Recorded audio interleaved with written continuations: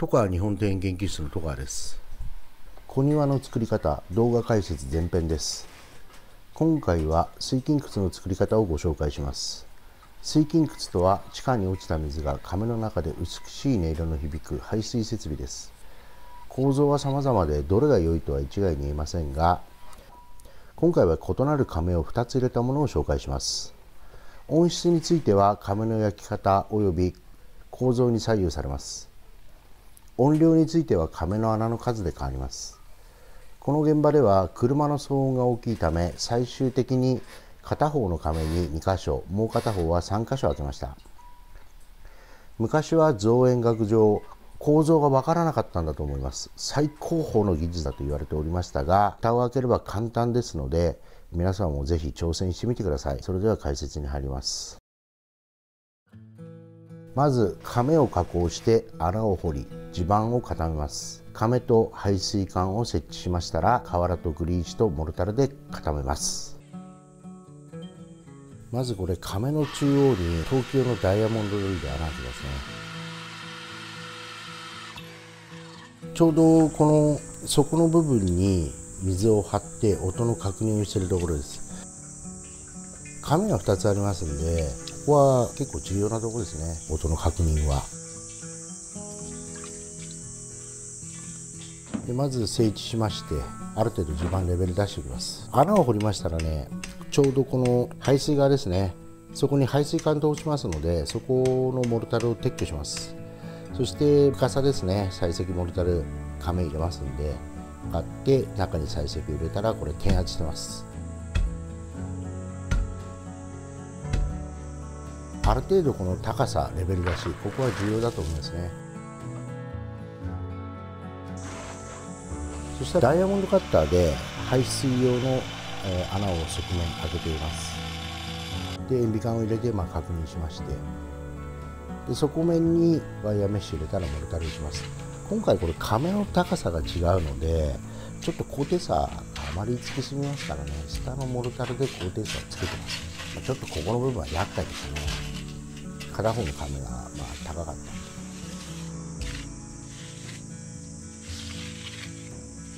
亀の底にシリコンを打ちますけども大体モルタルで止まってしまいますのでそんなにここはこだわるところではないと思います。で今回はこれ亀同士つなぎまして、まあ、間グリーシー、まあ、ないしね小石を詰めてそしてシリコンを打ちます。シリコンはこれそんなに高価なものではないので、まあ、たっぷり打っていいと思いますね。であとこれ塩ビ管の中央に印をしておくのがポイントです。でそうしましたらね周りモルタルで固めるんですが際をですね丁寧にこう固定で押さえるのがポイントです。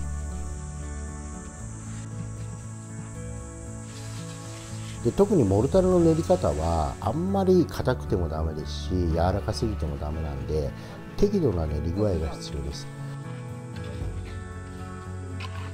水金窟に関しましてはこれ全く見えないので、まあ、魚屋さんの技術はちょっと必要ないかなと思います。で特に何度もこの際に水を打って、えー、際を柔らかくして塗り込むのがポイントです。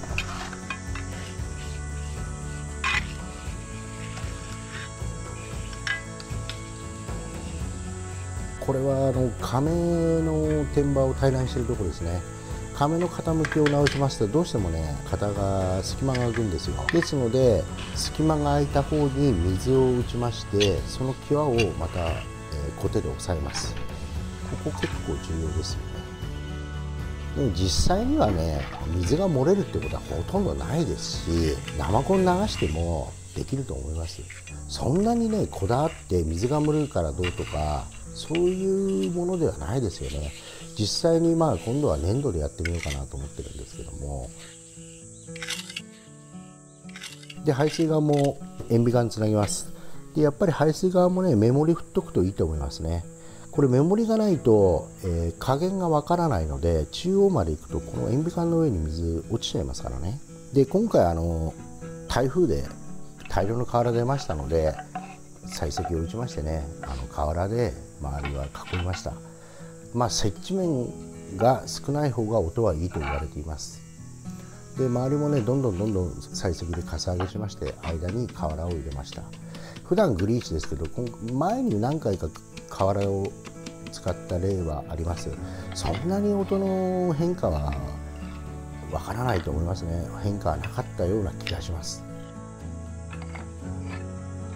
でどんどんどんどん採石でこれ周りかさ上げするんですがグリーシだとかだと外の土が入り込むんですよ。ですので側面というか、まあ、土との接地面は最適な位置になります。で最後に、まあ、上にグリーシ小石入れまして上部にモルタル打つんですがここはあんまり水を加えすぎずにちょっと強度の落ちた空練りじゃないんですけども水をあまり加えすぎないもので叩き締めるようにしてます。でなぜかと言いますと蝶ズバチやそういった他のものを設置する時にですね撤去が容易なようにします。で大事なのは亀の際です。ここをきちっと押さえた方がいいと思いますね。大体こんなところですね。はい。今回の動画解説は以上です。皆さんご視聴ありがとうございました。